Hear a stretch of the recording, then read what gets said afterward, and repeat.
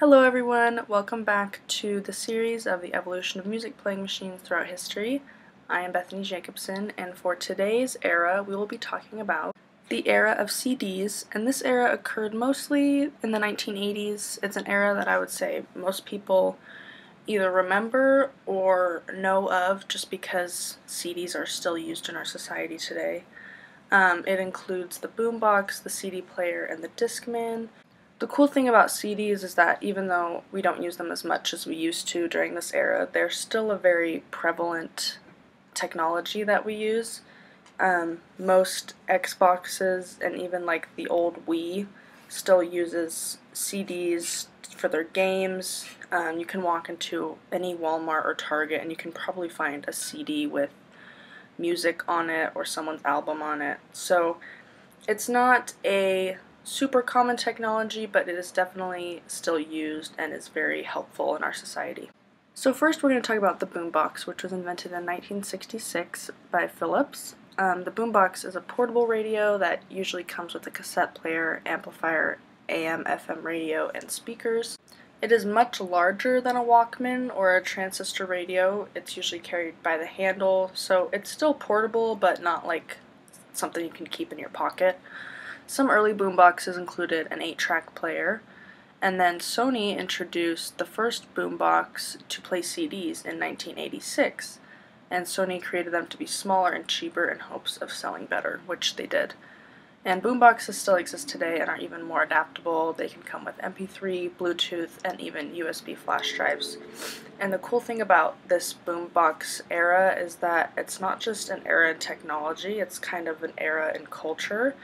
The boombox was kind of like a symbol for this era of hip hop when it was on the rise and it became very popular.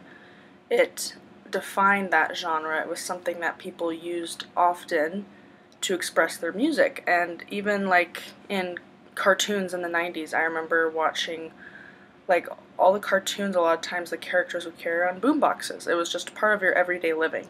And so the boombox was not only important technologically, but it was important culturally. Now we're going to talk about the CD and the CD player, which was invented in 1980 by James Russell. Um, Sony and Philips worked together to develop the compact disc, and the first commercially available CD player was released by Sony in 1982 in Japan.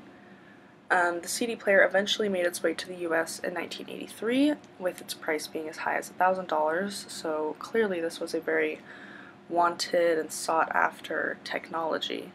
CD sales passed vinyl sales in 1988 and passed cassette sales in 1991 kind of like I've been talking about in this series, how old technologies would peak in their sales and then a new technology would be released and that new technology would pass its sales and become the most popular thing over the old things that were already popular and steadily increasing in sales, but this new thing is just so much more valuable and easier to work with, just like how technology, as it advances more, it becomes easier and easier and better quality.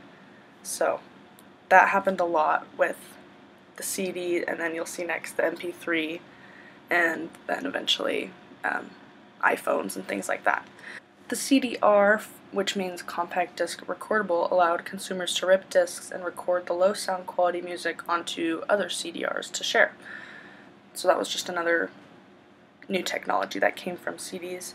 What you'll notice about the CD player is that it's very similar to the boombox, kind of in the shape, but it's a little bit smaller and it doesn't have as many of the extra sound additives that the boombox has. It doesn't have these big speakers and it doesn't have an amplifier like the boombox does. It just has the place where you can put the CD, a little bit smaller of speakers, and then a play, pause, forward, fast forward rewind button.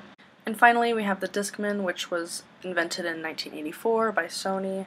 Sony created the Discman to adapt to the rise of CDs and it was very similar to the Walkman because it was portable and it allowed you to listen to music through headphones and it also used batteries which was basically how the Walkman worked.